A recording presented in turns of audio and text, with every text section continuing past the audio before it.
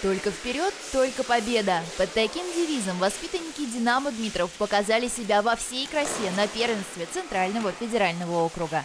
С 10 человек, ребят, э, выступили, я считаю, ну, очень хорошо, почти, скажем так.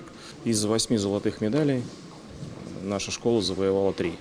То есть остальные, на остальные, скажем так, 16 регионов Центрального федерального округа э, досталось 5 золотых медалей.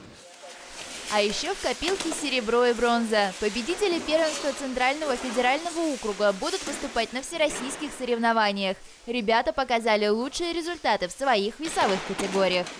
Это у нас э, Дмитрий Котельников, но это у нас, скажем так, лидер 60 килограмм выиграл, мы так и надеялись. Нас еще удивил Эдик Солопон, который в 73 килограмма, он у нас вышел с юношей, то есть в другой перешел возраст, да, и выиграл первенство ЦФО, удивил нас тоже. Вот. Ну и Владимир Кравцов, 100 килограмм. Владимир Кравцов принимал участие не только в юниорском первенстве, проходившем в Раменском с 15 по 17 октября, но и во взрослом, где также показал великолепные результаты. Боролся в весовой категории до 100 килограмм. Было у меня 4 встречи, и четвертая была финальная. Были сложные соперники на самом деле, то есть э, легко нигде не бывает. На пути к первенству у Владимира возникли проблемы с подготовкой. Еще было очень тяжело то, что я сейчас поступил учиться, и получается у меня был большой пробел между тренировками.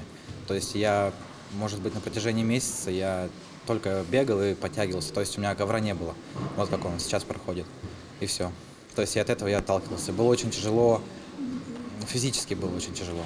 Технику молодой человек не растерял и показал результат многолетних тренировок, а заодно и удостоился нового звания.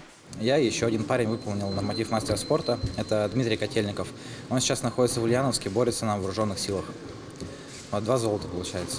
Это, получается, были первые соревнования, за которые за первое место давали мастера спорта. То есть ты должен был пройти всех своих соперников, стать э, первым лучшим из них, и из-за этого тебе присвоили мастера спорта. В начале октября динамовцы выступали на летней универсиаде в Екатеринбурге, где также показали неплохие результаты. Состязания проходили в два дня. Первый более легкие веса, во второй потяжелее. Динамовец Николай Суров чуть-чуть не дошел до финала. Он выступал в весовой категории более 100 килограммов. Универсиада, неплохие такие соревнования. Но за выход в финал немножко не повезло. Сам вел оценку, сам же попался на прием. И пришлось бороться за третье место. Я сделал бросок, я вел оценку. То есть мне можно было просто отстаивать и по наказанию выиграть. А я взял не свой захват, и мне сделали движение, и я упал. На летней универсиаде также выступали девушки. Эльвира Камалова прошла в финал и взяла первое место в категории до 70 килограммов. Она первой стала. А, молодец. Я за ее схватками, честно, не наблюдал, потому что параллельно шли и мои. И, ну, так она все, ну, всех выиграла. У динамовцев впереди еще много важных соревнований, в том числе чемпионат России среди мужчин и женщин, который пройдет в Хабаровске с 7 по 9 ноября, а также первенство России среди юниоров и юниорок, которое состоится в начале декабря в Мурманске. Подробнее о прошедших соревнованиях и о планах на будущее в программе «Проспорт» в это воскресенье.